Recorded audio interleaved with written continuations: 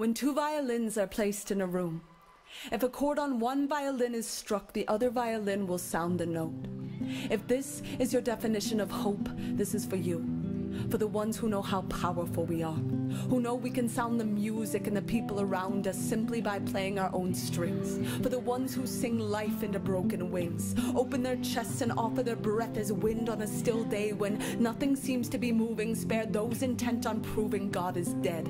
For you when your fingers are red, from clutching your heart so it will beat faster. For the time you mastered the art of giving yourself for the sake of someone else. For the ones who have felt what it is to crush the lies and lift truth so high, the steeples bow to the sky. This is for you. This is for no becoming yes, for scars becoming breath, for fear becoming trust, for saying I love you to people who will never say it to us, for scraping away the rust and remembering how to shine, for the dime you gave away when you didn't have a penny for the many beautiful things we do, for every song we've ever sung, for refusing to believe in miracles because miracles are the impossible coming true and everything is possible. This is for the possibility that guides us and for the possibilities still waiting to sing and spread their wings inside us because tonight Saturn is on his knees, proposing with all of his 10,000 rings that whatever song we've been singing, we sing even more. The world needs us right now more than it ever has before.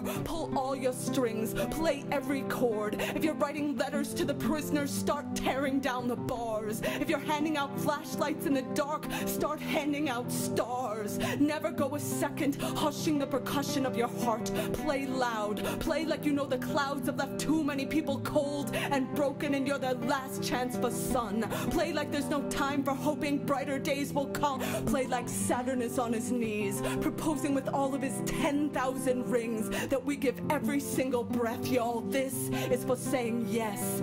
This is for saying yes.